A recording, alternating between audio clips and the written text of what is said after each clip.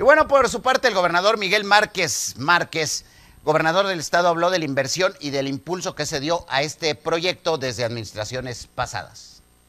Y por eso este rastro, sí, que efectivamente lo mencionaban, son todos de 80 millones de pesos de inversión conjunta municipio, estado, federación. Yo quiero resaltar, de veras, que era importante que se llegara este día. Y así como en su momento Lucy fue, estuvo ahí a dura con este proyecto, igual me tocó, siendo secretario de Desarrollo Social y Humano, por eso conozco bien este proyecto. Hoy el alcalde fue de sus primeras propuestas, ¿no? Gobernador, no podemos seguir con este gasto, no es posible, ya falta, ya nos falta poco. Lo que dije Ricardo, no, lo conozco perfecto, el tema del rastro, sé bien cómo está atorado sus broncas, vamos a hacerlo. Le digo, vete con Javier, vete con Javier, de peso a peso, y vamos a echarlo a andar. Esto no puede esperar más. Y algo que quiero destacar aquí, ¿saben qué lo hizo posible? Sí el recurso económico, porque como yo decía, ya faltaba poco.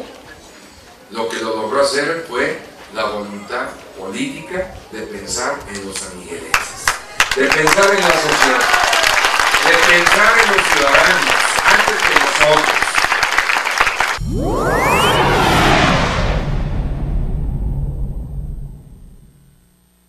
Bueno, pues asimismo dio a conocer las especificaciones de este rastro regional con el que se espera bajar las estadísticas de los rastros clandestinos.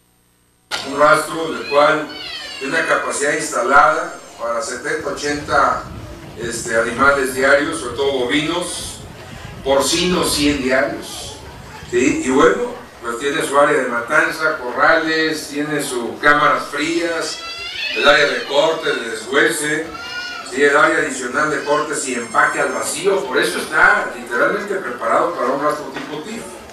La planta de tratamiento de agua que bien mencionaba el alcalde, no queremos contaminar, contrario, que esta agua ya una vez tratada le sirva para que la apoyen en cultivos de tallo largo, ¿sí? su incineradora, esto también pues, evita precisamente contaminación, evita enfermedades, etc. Bueno, pues esto, ¿en qué nos pone? En la antesala para que sea precisamente un rastro tipo para que le den la certificación.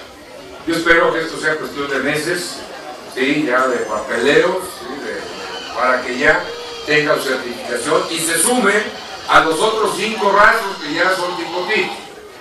Con la ventaja de que este rastro, sobre todo, queremos que sea regional. Bien lo mencionado. Tiene que ser regional. ¿Para qué? Para el bien de todos. Nos interesa que llegue a la mesa ¿sí? carne sana, certificada. Que sepamos de dónde viene, que sepamos que estamos comiendo carne que va a ser de provecho, ¿sí? que no va a generar un problema de salud.